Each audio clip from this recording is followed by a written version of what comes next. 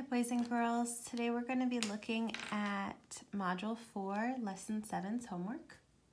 And it starts out by saying, solve the following problems using the vertical form, your place value chart, and place value discs. Bundle a 10 if needed. Think about which ones you can solve mentally too. So for A, it shows us 31 plus 9, and it also shows us 32 plus 8.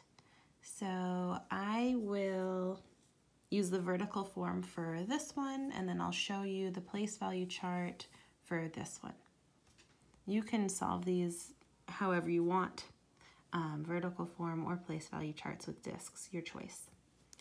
So for 31 plus 9, if I'm going to use the vertical form, I need to write my numbers vertically, and I need to line them up.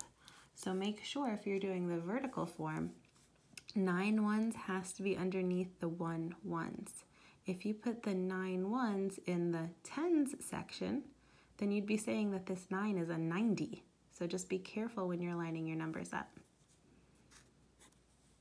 All right, so here's my vertical form. 9 plus 1 is a 10. So if I'm thinking about a 10, I know there's a 0 in my ones place and a 1 in the tens place. And then I can add my tens column up. Three tens plus one ten is four tens. So this gives me an answer of 40. Now I'll show 32 plus 8 using a place value chart. Hundreds, tens, ones. 32 looks like three tens, two ones. And 8 just looks like eight ones. Well, I know that 8 plus 2 gives me a 10. So I bundle 10 ones together. I turn them into 110. So I no longer have 10 ones. And actually, there's no leftover ones either. So I have 0 in my ones place. And I have 4 in my tens place. 32 plus 8 is also 40. All right. Uh, section 2 says to add the bottom numbers to find the missing number above it. You can add these numbers in any way you want. You could draw your place value chart or you could do vertical form. It's totally your choice how you want to add those up. And then you'd put your answer in the large circle.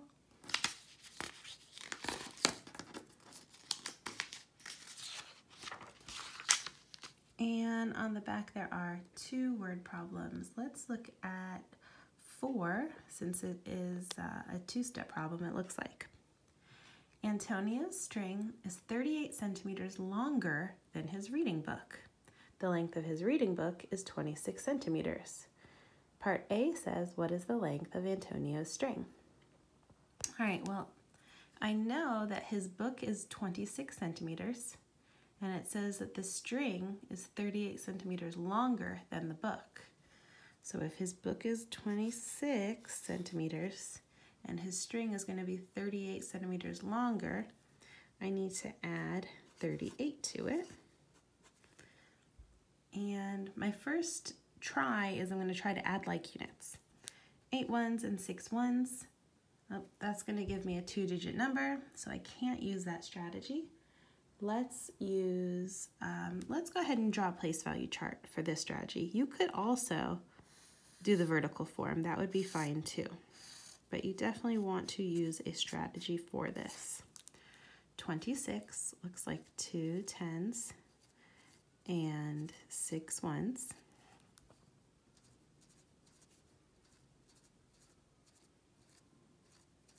And 38 is three tens, eight ones. I always start in my ones place. I want to see if I can make a bundle of 10 ones. So here is eight. Two more would make 10. So I'm going to take these two ones from here, bundle them together to turn them into a 10. So I no longer have these, but I do have one, two, three, four leftover ones.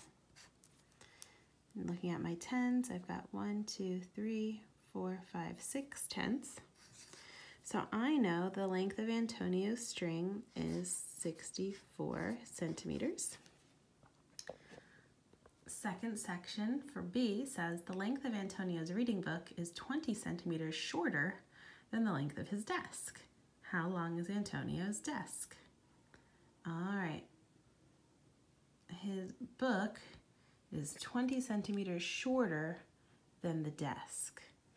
So I have to go back up here and find, all right, well, his reading book was 26 centimeters long. And that number, that 26, is 20 centimeters shorter than the desk. So I need to take the length of his reading book, which is 26, and I need to add 20 centimeters back in so I can find out how long his desk is. All right, so this one's a little wordy. If his reading book is 20 centimeters shorter than the desk, that means the desk is 20 centimeters longer than the book. That's why we're adding the 20 back in. And we found out up here how long the book was. All right, so my first try is I want to see if I can add like units.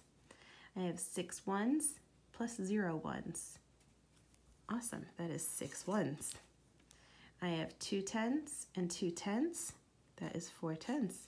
So for this one, I didn't need to use a strategy because adding like unit works. So Antonio's desk was 46 centimeters long. All right, guys, I hope that was helpful. See you tomorrow in class.